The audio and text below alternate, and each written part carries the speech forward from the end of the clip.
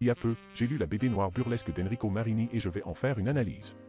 Jusqu'à présent, je n'ai posté pratiquement que des shorts et j'ai envie de tester un autre format. La vidéo s'articulera comme suit. Je présenterai rapidement l'auteur. Je parlerai du genre cinématographique du film noir et comment il est retranscrit dans la BD. J'analyserai les choix graphiques et quelques planches représentatives de l'œuvre. J'aborderai une question peu ou pas abordée par les critiques de BD, celle du confort de lecture, car cela a, mine de rien, un impact sur l'appréciation globale d'un bouquin. Enfin, pour conclure, je relèverai les principaux points forts et points faibles de Noir Burlesque. Bref. Enrico Marini est un auteur de bande dessinée italien né en 1969, en Suisse. C'est d'ailleurs là qu'il étudie le graphisme, à l'école des beaux-arts de Bâle. Ses principales influences sont, côté comics, Milton Caniff, l'auteur de Steve Canyon et de Terry et les Pirates. Côté manga, Otomo, l'auteur d'Akira. Côté BD, Herman, l'auteur des Tours de Bois-Maury, Comanche, Jérémia, etc. Et Jean Giraud, l'auteur de Blueberry, Lincal, Major Fatal, etc. Il débute sa carrière d'auteur en 1987, en participant au concours des nouveaux talents du Festival de la bande dessinée de Sierre, où son travail est rapidement repéré. Il collabore avec le scénariste Thierry Smolderan sur sa première série, Olivier Varese qui comptera quatre tomes et dont le premier tome paraît en 1990 et le dernier en 1993. S'en suivront d'autres séries dont Gypsy, L'étoile du désert, Rapace, etc. Mais c'est en 2000 que le premier tome de sa série phare, Le Scorpion, sort en librairie. Elle est scénarisée par Stephen Deber et continue jusqu'en 2019, date à laquelle paraît le 12e tome. En 2007, il débute la première saga où il est à la fois dessinateur et scénariste, Les Aigles de Rome. Il réalise un diptyque très remarqué sur Batman à la fois publié en France chez Darko et en Amérique chez DC Comics, Vient enfin Noir Burlesque, dont le premier tome paraît en 2021 et le second fin 2022. Au fil du temps, il conserve la casquette de dessinateur mais revêt celle de coloriste, de lettreur ainsi que de scénariste. Amateur de cinéma, il apprécie tout particulièrement le genre américain du film noir et ça tombe bien, c'est ce dont on va parler maintenant. Attention, je ne me place nullement en critique de cinéma, je ne ferai que rabattre des informations que j'ai pu glaner ça et là. Donc, le film noir est un genre cinématographique qui a vu le jour au début des années 1940 aux États-Unis et qui puise son inspiration dans la littérature policière. Ce genre disparaîtra à la fin des années 1950 et connaîtra un regain d'intérêt avec le courant un peu fourre-tout du néo-noir à partir de la seconde moitié des années 1970. Le film noir se caractérise par son ambiance crépusculaire où flotte dans l'air pessimisme, violence et trahison. Ce sont des films en noir et blanc ne bénéficiant souvent de pas beaucoup de budget. Ils prennent place dans un environnement urbain, celui des grandes villes américaines de la côte Est. Il y a des archétypes de personnages comme le héros souvent désabusé, la femme fatale, le chef mafieux si possible italien, le tueur psychopathe, le meilleur ami d'enfance devenu policier, les fonctionnaires corrompus. Côté scénario, le personnage principal est souvent confronté à des situations inextricables et seules des méthodes expéditives et ou beaucoup de ruses lui permettent parfois de s'en sortir. Il est maintenant temps de revenir à Enrico Marini, de présenter ce qui l'a poussé à réaliser Noir Burlesque et les ingrédients du film noir qu'il a repris. Marini a confié vouloir réaliser un album en noir et blanc depuis un certain temps, à la fois pour se faire plaisir graphiquement et changer de technique par rapport à ses albums précédents. L'univers du film noir offrait des choses qu'il n'avait pas eu l'occasion de dessiner dans ses dernières sagas, à savoir des voitures, un environnement urbain, des fusillades. Pour les femmes fatales, en revanche, ses séries antérieures en mettaient déjà en scène. Avec Noir Burlesque, il a ainsi cherché à faire revivre l'atmosphère du film noir, savant qu'il pourrait représenter des lieux et des moments plus graphiques qu'il n'aurait pas été possible de montrer à l'écran à l'époque. Et puis, plus jeune, il avait énormément regardé de films noirs, ce qui a participé à nourrir son imaginaire. L'histoire se déroule dans les années 1950. Nous suivons le personnage de Slick, un criminel avec de la répartie et toujours bien sapé. Il doit de l'argent à un mafieux irlandais nommé Rex. Pour s'acquitter de ses dettes, il va devoir lui rendre des services qui risquent d'aggraver sa situation.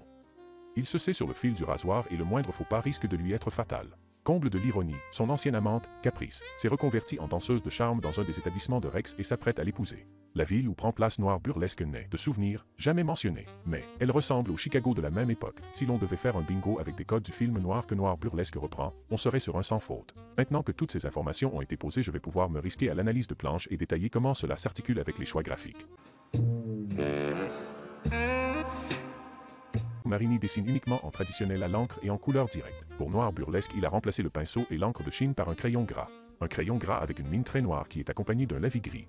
Par-dessus le lavis, l'auteur a rajouté de l'acrylique liquide sépia, ce qui rend le gris un peu plus chaud. Mais ce qui marque le plus, c'est l'utilisation de touches de rouge, toujours en acrylique liquide. Marini a confié avoir simplement réduit sa palette de couleurs par rapport à ses séries classiques. Les films noirs étant en noir et blanc, le lavis gris était le meilleur moyen d'y faire référence. Son style réaliste ultra maîtrisé participe aussi au côté cinématographique de la BD. Les touches de rouge sont utilisées comme des toniques, mettant en exergue des éléments importants de l'histoire ou cassant le côté étouffant que pourraient avoir certaines planches. Ce rouge peut servir pour une chevelure, des vêtements, un gyrophare de police ou tout simplement du sang, et il y en a. Le rouge est une couleur bien pratique car elle revêt énormément de significations différentes à savoir celle de la passion, la violence, le danger, la vie, la puissance, etc. L'utilisation d'une couleur seule confrontée à un environnement en noir et blanc est un procédé déjà utilisé ailleurs et qui fonctionne souvent très bien. Je pense, côté cinéma, à la liste de Schindler avec un passage montrant une fillette avec un manteau rouge. Côté BD, me vient en tête Éric Petit Prince des Pays-Bas au bord de la mer de Roland Topor.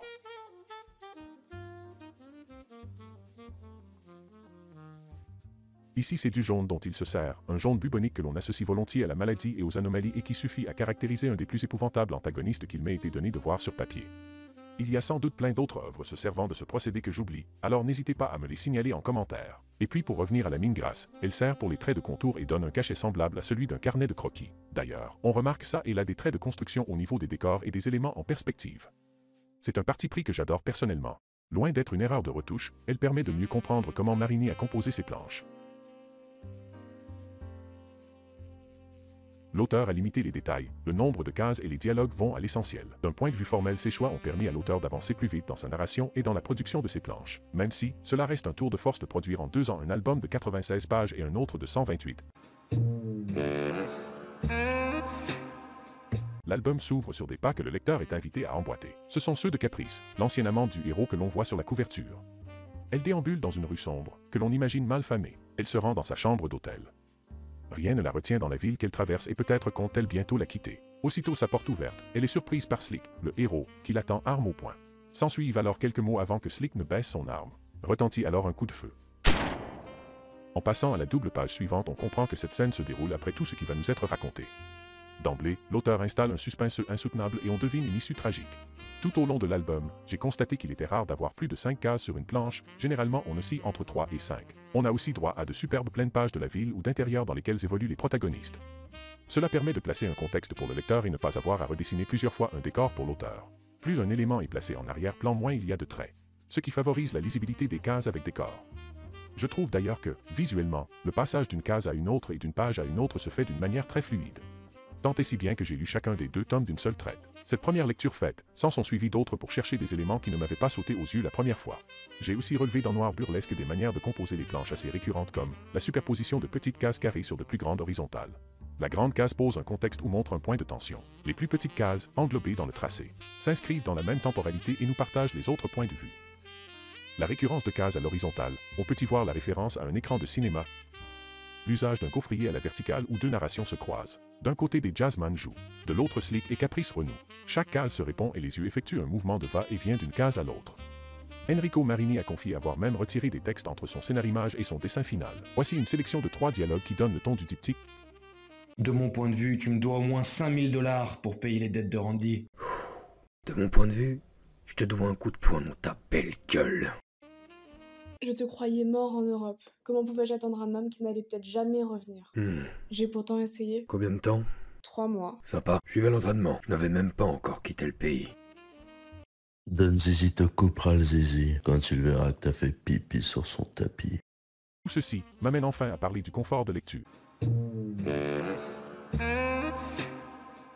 Comme j'ai pu le dire en introduction, le confort de lecture a un impact significatif sur l'appréciation d'une œuvre. Une couverture trop souple, un angle corné, des pages déchirées, des défauts d'impression, un grammage de papier trop fin, des couleurs trop criardes, une sélection de typographie inadaptée, une impression trop proche de la reliure, etc. Bref, voilà une liste de défauts formels qui peuvent gâcher la lecture d'une BD. Concernant Noir Burlesque, le constat est sans appel.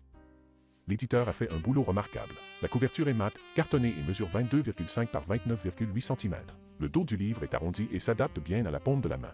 L'intérieur de la BD, aussi, jouit d'une attention particulière avec un papier dont le grammage doit se trouver entre du 130 et du 150 grammes, ce qui fait qu'on n'a pas d'appréhension lorsqu'il s'agit de tourner les pages. L'impression est irréprochable, de même pour la mise en page. La taille des textes est parfaitement calibrée. Bref, ce sont deux beaux albums qui méritent d'être mis en avant dans une bibliothèque.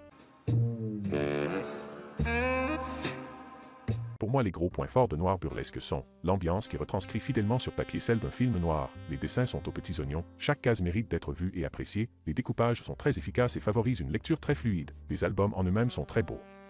Si je devais faire le pinailleur et relever quelques bémols, ce serait le scénario a beau être bien mené, il est parfois trop prévisible. Le prix total qui avoisine les 40 euros. Les personnages féminins ont des visages qui se ressemblent un peu tous.